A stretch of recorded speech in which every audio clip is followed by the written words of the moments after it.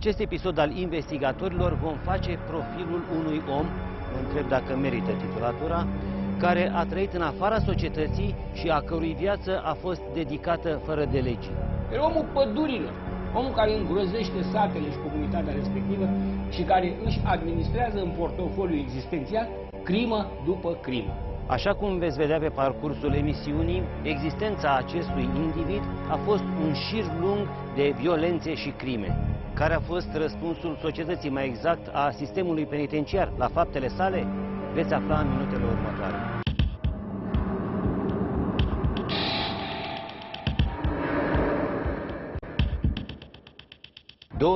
...24 septembrie 2012. O știre face ocorul televiziunilor. Un deținut de la penitenciarul Jilava și-a atacat cu un picior de scaun colegii de celulă pe doi dintre ei băgând în spital. Dacă agresorul ar fi fost la prima acțiune violentă, știrea ar fi trecut neobservată, dar autorul era la a nu știu câta recidivă, atât în spațiul penitenciar, cât și în afara lui. Avem de-a face cu un profil de personalitate în care niciodată n-a fost mai bine ilustrată instinctivitatea primară a individului, agresivitatea, spontaneitatea atacului, toate acestea vorbind de minusuri în ceea ce privește raționalizarea mentală, chipzuirea asupra comportamentelor, asupra consecințelor faptelor sale. Asemenea atacuri sunt destul de frecvente în pușcării unde deținuții încearcă să-și regleze conturile prin forță. Deținutul agresor este transferat imediat de la penitenciarul Jilava la penitenciarul Giurgiu, unde, odată ajuns, într-un acces de furie, îl mușcă de mână pe unul dintre mascații din escortă. Am început cu ultima ispravă violentă a lui Eugen Galeș, care aproape două decenii a trăit în afara societății. Șirul lung de fără de lege începe la începutul anilor 90 și se termină cu atacul asupra colegilor de celulă din 2012. În acest răstimp, Galeș a tâlhărit, a bătut și a ucis pe oricine bine, credea el că îi stă în cale. Pentru acest individ, singura modalitate de rezolvare a problemelor era violența. De altfel, expertiza psihiatrică îi pune eticheta de tulburare organică de personalitate cu manifestări antisociale.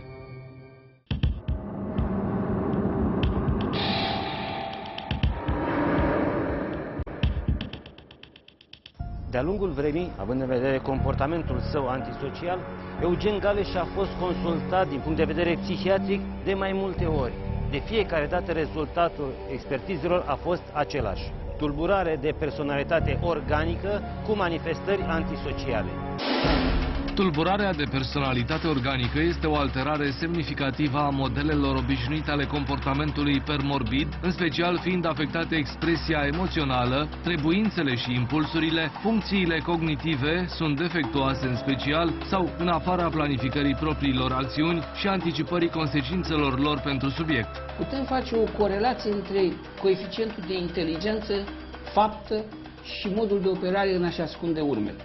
Dacă indivizii inteligenți se ascund în socius, în localități, în străinătate, schimbă identitatea. Primitivii care sunt aproape de treapta animalică, se duc în pădure. Denumiți adesea și sociopați, antisocialii sunt caracterizați prin desconsiderarea și violarea drepturilor altora, impulsivitate și incapacitate de a face planuri de durată, iritabilitate și agresivitate, neglijență pentru siguranța proprie și a altora, irresponsabilitate prin inconsecvență profesională sau financiară. Se duc pe dealuri, se duc în munți, se duc în peșteră, pentru că acolo ei se simt mai protejați, pe de o parte, securitatea personală le este resimțită ca fiind în siguranță. Îi mai caracterizează lipsa de remușcare, sfidarea legilor și a normelor sociale, incapacitatea de a se conforma normelor sociale în legătură cu comportamentele legale, incorectitudine, minciuni repetate, manipularea altora pentru profitul sau plăcerea personală. Sociopații pot forma relații interpersonale cu ușurință, dar natura acestora este superficială. Aceste trăsături se recunosc încă din adolescența târzie și persistă toată viața, atenuându-se de obicei o odată cu înaintarea în vârstă. Cu asemenea concluzii ale expertizelor medico-legale psihiatrice, vă întrebați de sigur de ce Eugen Galeș nu a fost internat într-o unitate medicală de profil. Răspunsul e simplu, pentru că el a fost găsit cu discernământul păstrat în raport cu faptele sale, motiv pentru care a trebuit să răspundă în fața legii. Trecutul infracțional și antisocial al acestui individ debutează la începutul anilor 90. Abia trecut de adolescență, Eugen Galeș s-a mutat cu părinții din Buzău în zona Năieni, comună situată la 40 de kilometri de orașul de reședință. Părinții săi primiseră moștenire casa părintească și, după cum veți vedea, atât zona cât și casa dobândită vor juca un rol decisiv în viitorul lui Eugen. Zona deluroasă în care tocmai se mutase ofera un spațiu propice pentru a-și verifica tehnicile de supraviețuire pe care Galeș le admira. La 20 de ani, după ce și-a făcut, credea el, ucenicia prin păduri, și-a pus în gând să se înroleze în legiunea străină. În 1992, lui pornește spre Franța, trecând fraudulos granița cu Ungaria și Austria. Este capturat de poliția austriacă lângă Graz și returnat în România.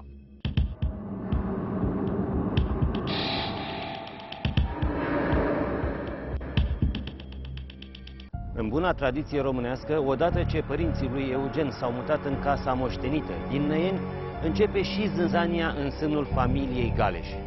Ceilalți membri, unchi, frați, erau nemulțumiți că nu au primit și ei o parte din moștenire. După cum veți vedea, această stare va reprezenta debutul unui lung șir de violențe, violențe care l-au pe Eugen în rol principal. Păi pericolul pentru societate nu e o chestiune abstractă, un balon care se umflă. Periculozitatea este deținută de individ de mentalitățile lui, de comportamentele lui, de gradul lui, prost de instrucție, educație, de faptul că Dumnezeu nu există în conștiința lui. E bine acest lucru să se înțeleagă odată?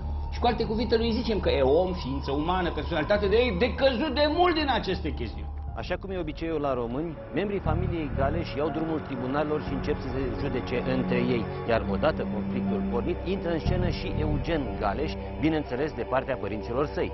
Modul în care o face este violent, pe ulițele satului având loc nenumărate certuri, conflicte și agresiuni, iar protagonistul nostru începe să-și atace rudele. Între 1996 și până la prima crimă, pe fondul conflictului isca de împărțirea între frația pământului, Galeș își atacă de mai multe ori unchiul și pe alți membri ai familiei. Totul culminează în vara anului 2003 cu o agresiune majoră a cărui victimă este un unchi, conducătorul taberei adverse. Împreună cu fratele său, Eugen îi aplică acestuia o corecție care îl trimite pe unchiul recalcitrant direct în spital. Poliția ia urma celor doi agresori și în scurt timp ei sunt condamnați la peste trei ani de închisoare fiecare pentru vătămare corporală gravă. În timp ce fratele său alege să execute pedepsa privată de libertate, Eugen își începe traiul la natură. Mai precis, se refugiază de brațul lung al legii în pădurile din jurul comunei era în atenția poliției, acesta având uh, emis pe numele lui uh, un mandat de executare a pedepsei pentru loviri sau alte violențe, uh, fiind uh, căutat în nenumărate rânduri. Uh, dar până la momentul respectiv nu s-au putut uh, stabili date despre locul unde s-ar afla.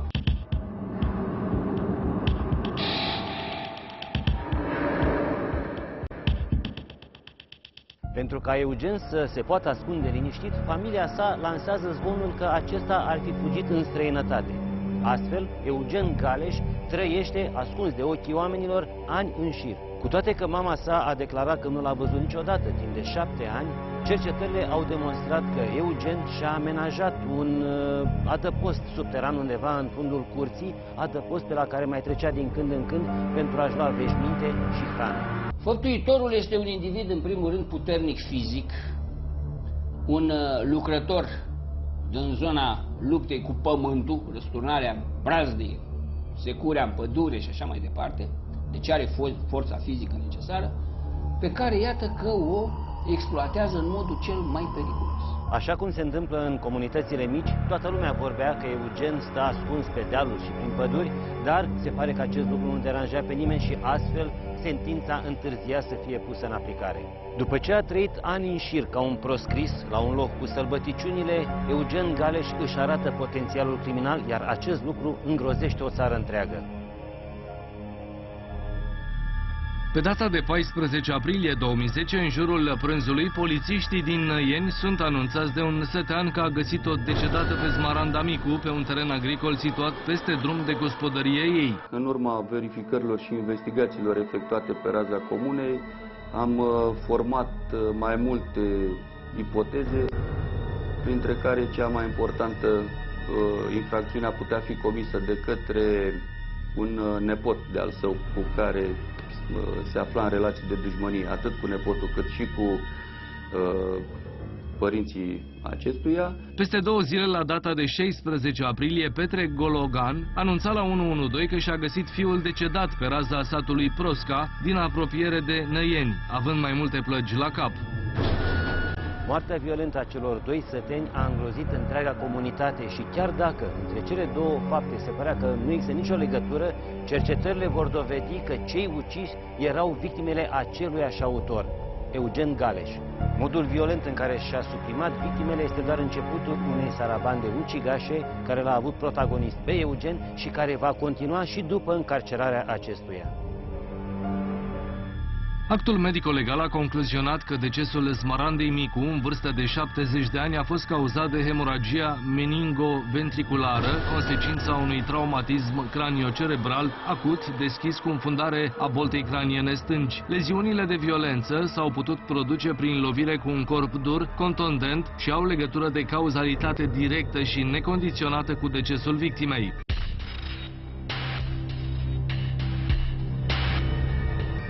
Din raportul de necropsie a rezultat că moartea numitului Vasile Gologan, în vârstă de 31 de ani, a fost violentă și a fost cauzată de hemoragia meningo-ventriculară, consecința unor plăgi tăiate și înțepate din zona craniană. Leziunile de violență s-au putut produce prin lovire cu un corp dur și ascuțit și au legătură directă și necondiționată cu decesul.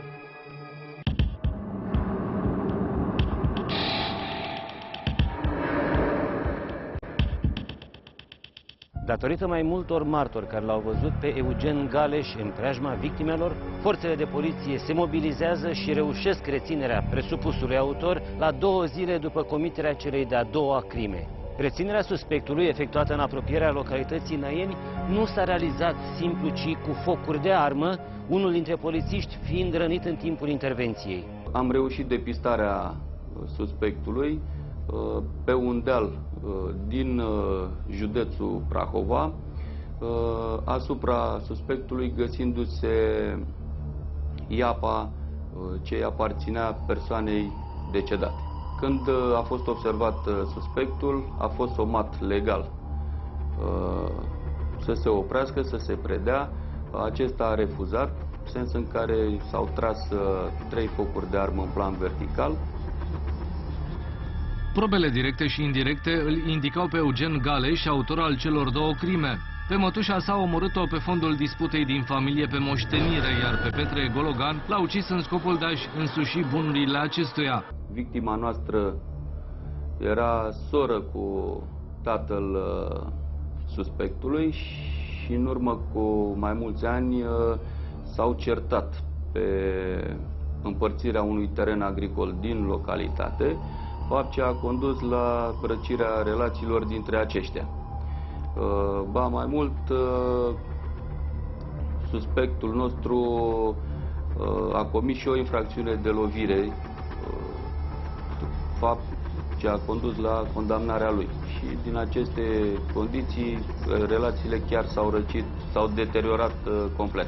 Dacă în cazul mătușii ucise, probele erau indirecte, Galeș își mai atacase ruda în trecut. În cazul lui Vasile Gologan, probele erau directe. Calul și căruța acestuia s-au descoperit în preajma locului, unde a fost capturat autorul. Asupra lui Galeș s-a găsit și cuțitul rupt cu care își lovise ultima victimă. A fost imobilizat, încătușat și a dus într-o zonă unde i s-a efectuat o percheție corporală, iar în urmă și a bagajelor pe care le avea asupra lui, iar în urma acestei activități a fost găsit un cuțit cu care a comis cea de-a doua infracțiune. O parte din cuțit a rămas în capul victimei și s-a rupt, mânerul fiind găsit asupra autorului. Eugen Galeș este trimis în judecată pentru omor calificat, omor deosebit de grav și tâlhărie. Atât în momentul prinderii, cât uh, și în momentul efectuării percheziției, cât uh, și ulterior în uh, ancheta efectuată, suspectul nostru a avut o atitudine nesinceră, a negat întotdeauna comiterea celor două infracțiuni, a refuzat să fie testat cu aparatul poligraf. Să nu vă închipuiți că faptele antisociale ale lui Eugen se vor încheia odată cu pronunțarea sentinței și trimiterea lui după gratii. La un an de la condamnarea sa, autorul intră din nou în atenția presei. În timpul cercetării judecătorești, el reușește să evadeze și să se ascundă în pădurile din zona Moreni. La data de 9 martie 2011, Eugen Galeș este adus la judecătoria din Moreni. Cu toate că era însoțit de 8 gardieni, el reușește să profite de neatenția acestora și să evadeze și, bineînțeles, ia drumul pădurii. După ce a fost încarcerat în penitenciarul Moreni, a fost uh, citat pentru un termen de judecată la judecătoria Moreni, uh, iar acolo uh, suspectul nostru, profitând de o situație anume, a reușit să evadeze, ascundându-se tot în zone împădurite. Naivitatea în această situație a constat în aceea că individul nostru, cu două omoruri, cu alte acte de violență înainte, este lăsat într-o cameră fără zăbrel. Acest lucru este, este o mană cerească pentru un astfel de individ. Evadează profitând de faptul că nu este asigurată camera. În scurt timp, 300 de jandarmi și polițiști, plus 10 câini de căutare, încep să scotocească pădurile din jurul Moreniului. La căutare participă și un elicopter care survolează zile în șir zona. Temându-se de potențialul criminal al celui evadat, comunitățile sătești formează potere la care participă 150 de oameni. Galeș este capturat la o lună după evadare, după ce un pădurar a anunțat prezența lui în pădurea de lângă satul Ognița din județul Dâmbovița. Evadarea lui se lasă cu sancțiuni, trei dintre șefii penitenciarului Mărgineni fiind demiși, iar cei opt gardieni neatenți fiind cercetați pentru neglijență în serviciu. Un act de escortă se transformă pentru lucrătorii de penitenciar care fac acest lucru într-o activitate de tip rutinier cu măsurile care se iau în cotidianul exportării, dar de fiecare dată nu este aceeași persoană.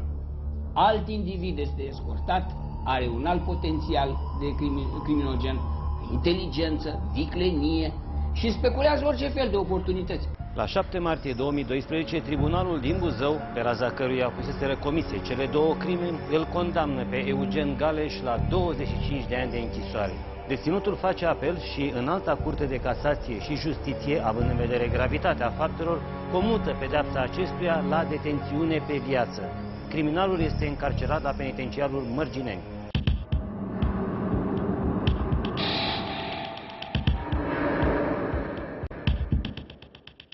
Să nu credeți că sentința l-a potolit pe Eugen. La nici două luni de la încarcerare, criminalul o comite din nou. Și aici am mai multe întrebări adresate sistemului penitenciar cu privire la regimul de detenție al persoanelor deosebit de periculoase.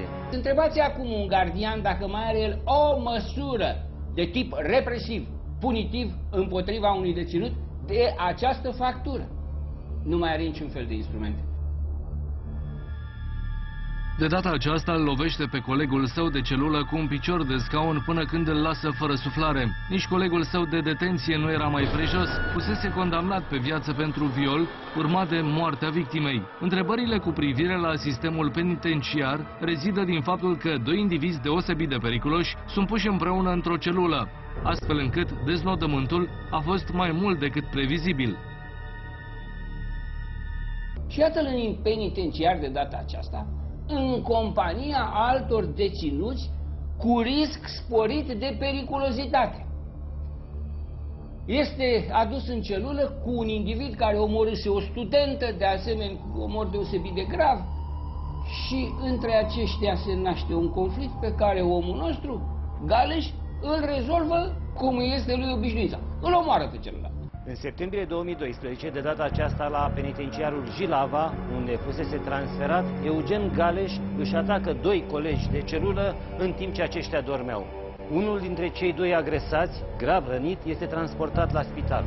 La nivelul penitenciarului se declanșează o anchetă internă pentru stabilirea circumstanțelor în care s-a produs atacul. Iată că evenimentele acestea dramatice continuă.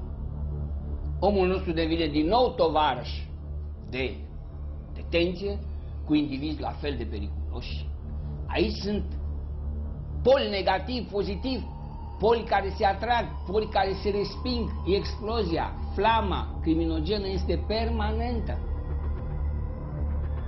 Aceasta este povestea violentă a unui haiduc modern, așa cum probabil se credea Galeș, un tip asocial, lipsit de empatie, care a trăit în afara societății după niște reguli dictate de mintea lui bolnavă. Trei crime, două în libertate și una în regimul penitenciar și nenumărate violențe. Potrivit Cartei Drepturilor și Obligațiilor Deținuților, editată de Ministerul Justiției, izolarea continuă poate fi admisă în anumite cazuri, revolte, asocieri de tip mafiot sau legături cu organizații organizații teroriste. Cu alte cuvinte, revenind și repunem uh, în, uh, în această discuție repetenția sistemului de detenție. Uh, sunt atâtea lucruri de schimbat în această, în această detenție, în regulamentele de detenție, în atitudinea față de deținuți, dar trebuie să se împrumute mult din experiența altor state cu criminalitate dezvoltată, cu sisteme penitenciare evoluate în ceea ce privește problematica detenției penitenciare. Niciunul dintre paragrafe nu face referire strictă la metodele de încarcerare ale unui deținut violent, precum și raporturile acestuia cu ceilalți deținuți. Chiar dacă sistemul nostru penitenciar este axat pe reabilitarea celor condamnați, în acest caz, cel al lui Eugen Galeș, situația nu se verifică. El va trebui, conform sentinței, să-și sfârșească viața după gratii. Cu alte cuvinte, acest Galeș rămâne în portretistica aceasta a criminologiei ca un psihopat polimorf, polivalent, la care se ilustrează absența oricărei proiecții cognitive, raționale. Crimele lui sunt spontane, sunt imediate, indirecte. Agresivitatea este uh, maximal exprimată și este și potențată de condiția lui fizică. Nimic nu stă în cale acestuia. În România sunt în prezent, potrivit statisticilor, 165 de condamnați la închisoare pe viață. Unul dintre ei este Eugen Galeș, un individ al cărui grad de adaptabilitate la societate a fost aproape nul. Un individ care trăia prin păduri după reguli proprii, iar singurele lui legături cu societatea au fost crimele.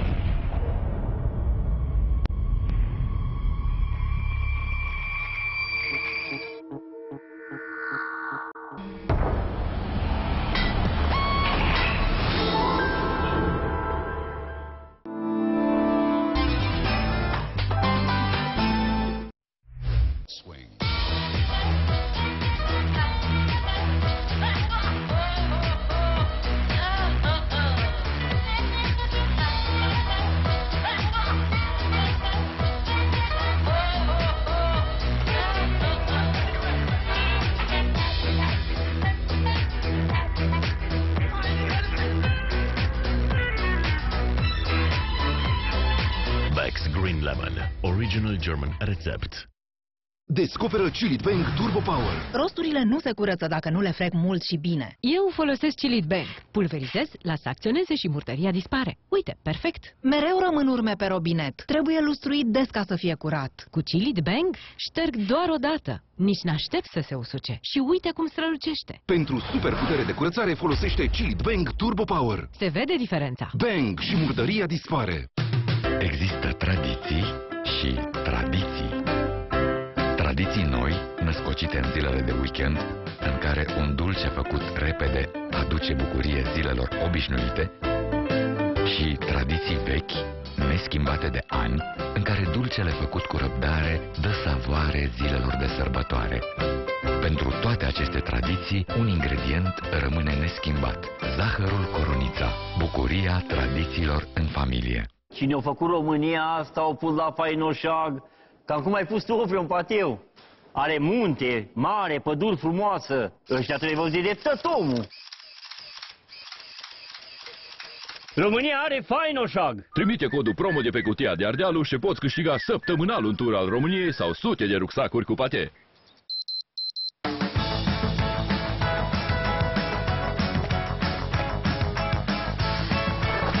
Plus activă. Nu lăsa durerea de cap să te scoată din ritm. Noul Nurofen Express Forte capsule moi. Mai rapid decât durerea. Se absorbe repede, accelerează prompt și își menține efectul până la 8 ore. Bucură-te de viață în ritmul tău! Acesta este un medicament. Citiți cu atenție prospectul.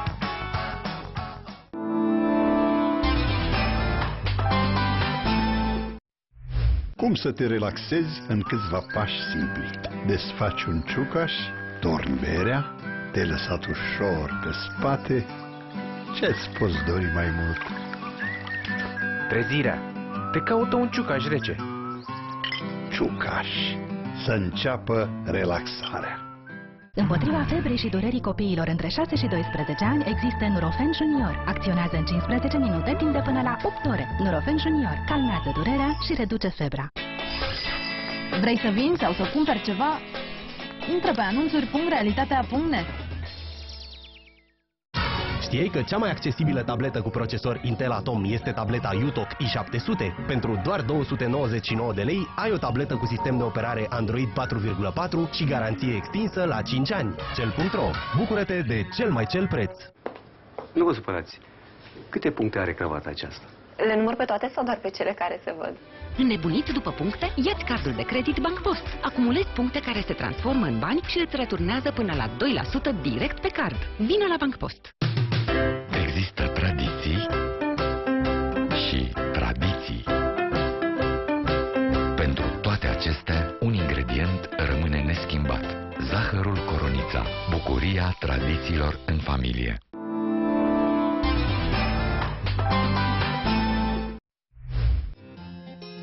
Soția mea și cu mine împlinim anul ăsta 30 de ani de căsătorie. Și la sfatul fiului nostru am luat un împrumut.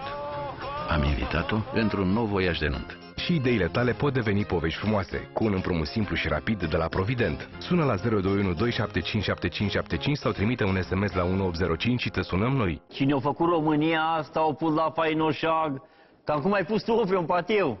Are munte, mare, păduri frumoasă. Ăștia trebuie văzut de tătomul. România are fainoșag! Trimite codul promo de pe cutia de Ardealu și poți câștiga săptămânal un tur al României sau sute de rucsacuri cu pate. Iată cămașa soțului meu, o pată de cafea. Aici avem veniș. Amestecăm, precăm cu această măsură. Acum cămașa va fi dusă în mașina de spălat. Peste de ciocolată, iată sfatul meu. Veniș pudră. Amestecăm să se facă o pastă. Trecăm cu pulinuțele speciale. Punem veniș peste detergent. E ca nou!